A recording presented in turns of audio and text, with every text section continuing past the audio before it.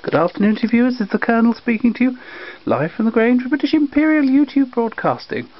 Today we've got another one of the wonderful British Drama League records. This one is Dorsetshire, spoken by Walter R. Baller of Blackmore Vale, wherever that might be. Here we go, viewers, see what you think. So you see, I be right about thick, me sonnies. The little maid a coming from the school yonder, past the barkin. Now there she be a gwine down the road, through the red gate on the left side of the way. Look, see, the silly maid have gone straight up to the threshold of the wrong house. Foolish child, what be she a thinking of? That's just where she'll most likely come across the snappy, scrimpy Dunchwold better. We'd all know him well enough, don't we? Name of Thomas Bennett. Well, now, he can't abide children. Won't the wold chap's ballyragging tongue soon learn her not to do it again? I'd allow he's a proper tyrant. Look, see, ain't it true now? There she be a scooting off, poor dear Zoe. That's his tune for sure. Did he ever see such a sight in the world? You're to come to school, schoolmaster, too. Just listen to the knife. Running down. Well, what do you think of the new wagon? Why, the first thing I divine we is the drats. They be too crooked. And the tug irons be a puttying more than three inches two of her back.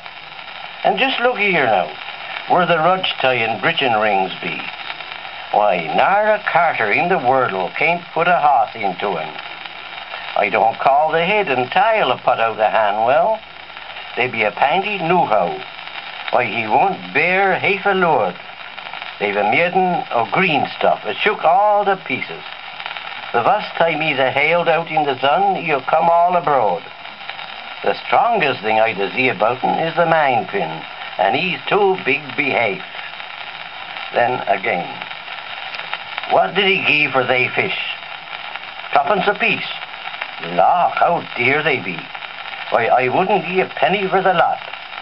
Why, they be a pontied and a squatted all to pieces. They won't keep till tomorrow. Praise a Dosset.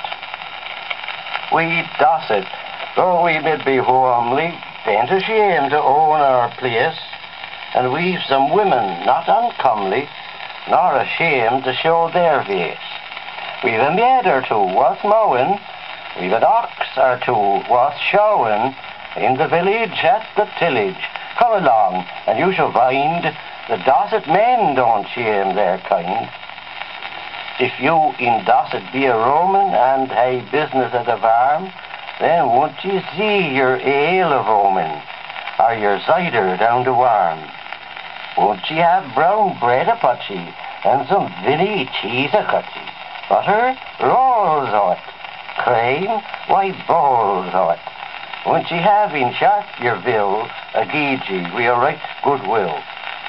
And won't ye have for every shilling, shillings worth at any shop? Though Dorset chaps be up to selling and can make a tidy swap, use 'em well, they'll use ye better. In good turns they won't be debtor, and so comely, and so warmly be the maidens. If your son took one home, then you'd cry, well done.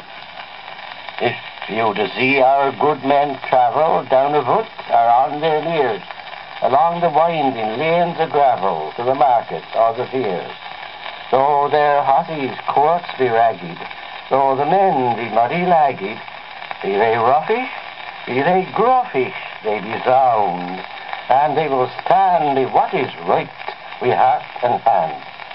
Friend and wife, fathers, mothers, sisters, brothers, happy, happy be their life. But doth it, dear, then gie one a cheer. You hear? One cheer. Hip, hip, hip, hooray!